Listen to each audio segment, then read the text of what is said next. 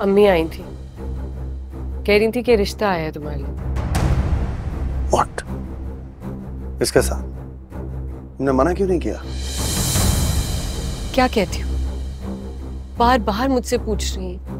मैं पीछे पड़ गई हूँ। शादी कर लो शादी कर लो शादी कर लो। वो तो मुझसे मेरी मर्ज़ी भी पूछ रही है। मैं तो फंस गई हूँ। आप ही बताएँ मैं क्या करूँ। मेरी समझ में ये नहीं आता शादी ज़रूरी क्यों है? बीबी क्या हो गया आपको? बीबी सज्जल बीबी।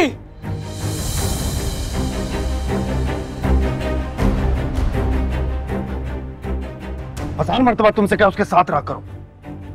मेरी खुद की तबीयत ठीक नहीं थी तो मैं सोने चली गई थी बट तो उसके साथ सो जाती कम से कम ये हाथ सब तो ना हो। को लग रहा है कि ये सब कुछ मेरी वजह से हुआ। हाँ तो और क्या?